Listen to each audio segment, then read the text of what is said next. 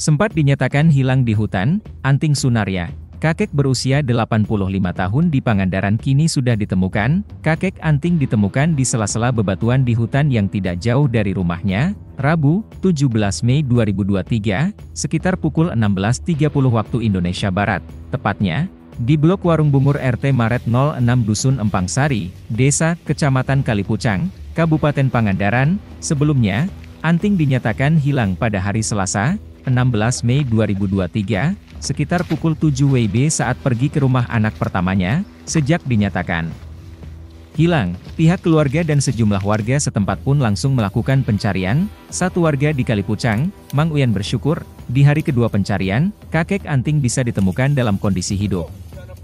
Kakek anting ditemukan di sela-sela bebatuan oleh Holidin yang masih satu warga setempat, ujar Mang Uyan kepada tribunjabar.id melalui WhatsApp, Rabu, 17 Mei 2023, sore. Padahal, kata ia, saat ditemukan, kakek anting tidak jauh dari rumahnya.